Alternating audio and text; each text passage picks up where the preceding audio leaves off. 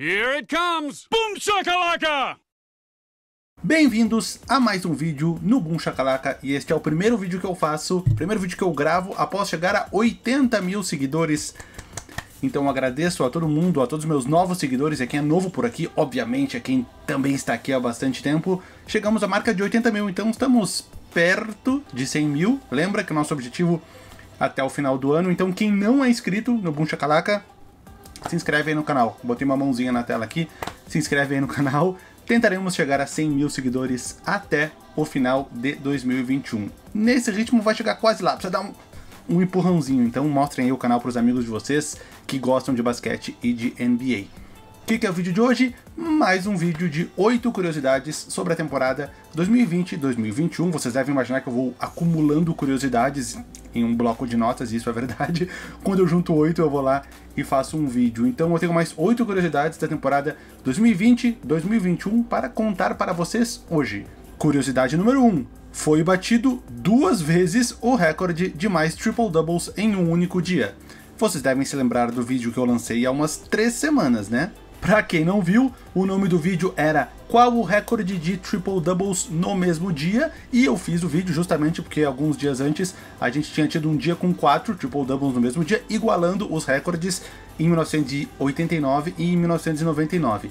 Mas desde o dia que eu lancei o vídeo, a gente já teve mais 5 dias, né? No caso, mais 4 dias com pelo menos 4 triple doubles. Em um deles a gente teve 5 triple doubles no mesmo dia e anteontem a gente teve 6 triple doubles no mesmo dia. Os seis jogadores que conseguiram triple-double no mesmo dia foram Russell Westbrook, Nikola Jokic, Domantas Sabonis, James Harden, Ben Simmons e Draymond Green. Mas o que explica cinco dias com pelo menos quatro triple-doubles se até então, na história da NBA, a gente só tinha tido dois dias com pelo menos quatro triple-doubles. Duas coisas, na verdade três coisas. Primeiro, a pontuação da NBA está cada vez mais alta, o ritmo de jogo está cada vez mais acelerado e isso possibilita mais pontos, mais rebotes e, obviamente, mais assistências. Número 2.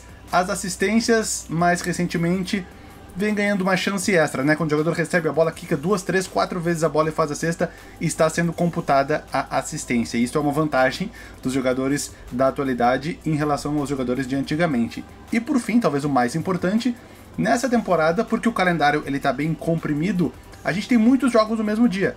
Isso aumenta as possibilidades de jogadores conseguirem mais triple-doubles no mesmo dia. Falando em triple-double, curiosidade número 2. LeBron James se tornou o jogador mais velho a conseguir triple-doubles em jogos seguidos. E convenhamos, parece ser algo que ele vai voltar a fazer mais algumas vezes daqui pra frente. Nos últimos dois jogos do Lakers contra Warriors e Timberwolves, LeBron James terminou com 22 pontos, 10 rebotes e 11 assistências no jogo contra os Warriors em apenas 30 minutos e 25 pontos, 12 rebotes e 12 assistências no jogo contra Minnesota em apenas 31 minutos. No dia do segundo jogo, LeBron James estava com 36 anos e 77 dias. A sequência foi interrompida porque no jogo de ontem contra o Charlotte Hornets ele não conseguiu um triple-double.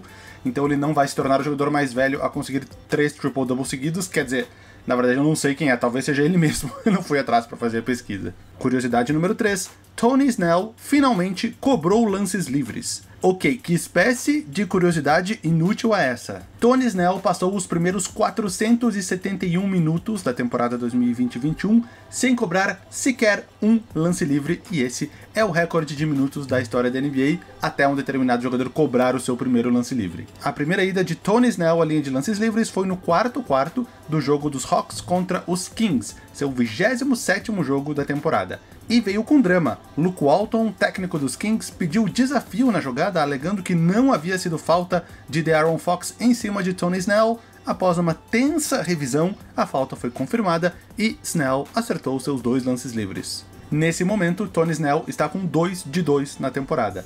Na temporada passada, pelos Pistons, ele jogava nos Pistons, foram 38 de 38, 100%.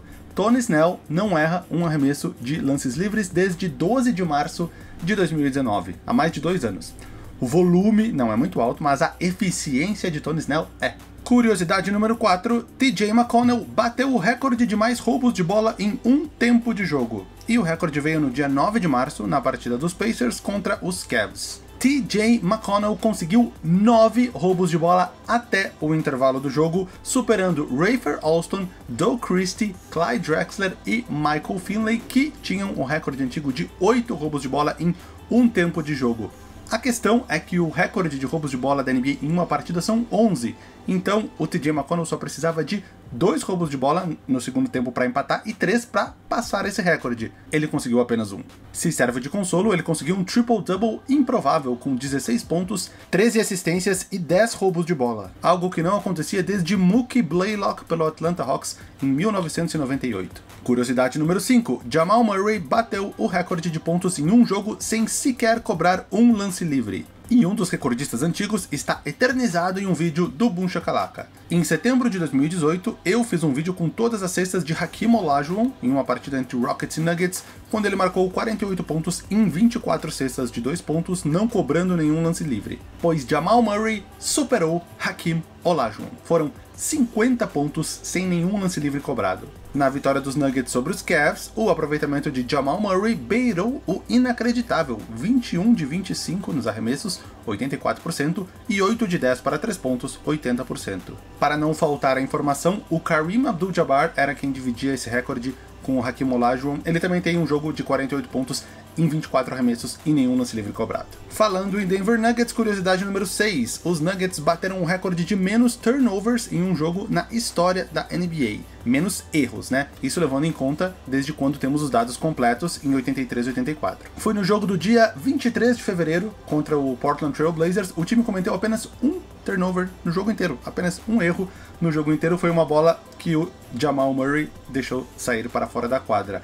Para comparação, por exemplo, nesse mesmo jogo, só o Damian Lillard sozinho cometeu 5 erros. Cinco times dividiam o antigo recorde de dois erros em um jogo. Phoenix Suns em 2021, esse ano, Charlotte Hornets em 2017, OKC em 2013, Cleveland Cavaliers em 2009, Milwaukee Bucks em 2006. Curiosidade número 7. Os Grizzlies conseguiram a vitória pela maior margem de pontos da história da franquia. E o antigo recorde, quem acompanha o Boom Shakalaka há mais tempo deve se lembrar. Na temporada 2003-2004, os Grizzlies derrotaram os Nets por 110 a 63, o que dá 47 pontos de vantagem cestinha Bonzi Wells, e eu mostrei isso no vídeo das vitórias com maiores diferenças. Pois no dia 28 de fevereiro, os Grizzlies derrotaram o saco de pancadas meu Houston Rockets por 133 a 84, 49 pontos de diferença. Se no recorde anterior vocês viram o cestinha foi o Bonzi Wells com 22, dessa vez o cestinha foi o Justice Winslow com 20 pontos em apenas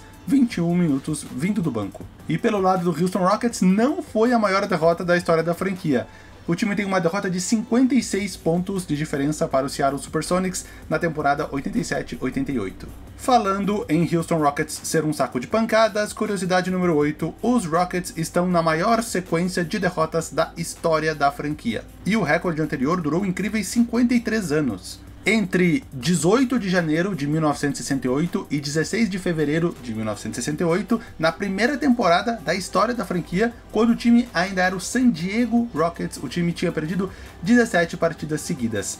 E entre 6 de fevereiro de 2021, parênteses, primeira partida após a lesão do Christian Wood, e 17 de março de 2021, o time perdeu 18 partidas seguidas e essa sequência, até hoje quando eu gravo, ainda está em andamento. As maiores sequências de derrotas na mesma temporada são dos Sixers, de 2013 e 14, dos Cavs, de 2010 11, com 26 derrotas seguidas. Se emendarmos temporadas, os Sixers têm um recorde de 28 derrotas seguidas entre as temporadas 2014 e 2015 e 2015 2016. Essa foi a parte 5 do vídeo com 8 curiosidades sobre a temporada 2020-2021. Muito obrigado quem assistiu mais uma vez. Quem não está me acompanhando, eu tenho comentado vários jogos no NBA League Pass, no YouTube da NBA Brasil e os jogos do YouTube são de graça para quem quiser assistir. Então fiquem de olho nas minhas redes sociais que eu estou sempre divulgando qual jogo eu vou fazer. Hoje, sábado, eu vou fazer, amanhã, domingo, vou fazer, segunda, eu vou fazer também. Então fiquem de olho aí nas minhas redes sociais que eu estou sempre divulgando. Um grande abraço para vocês e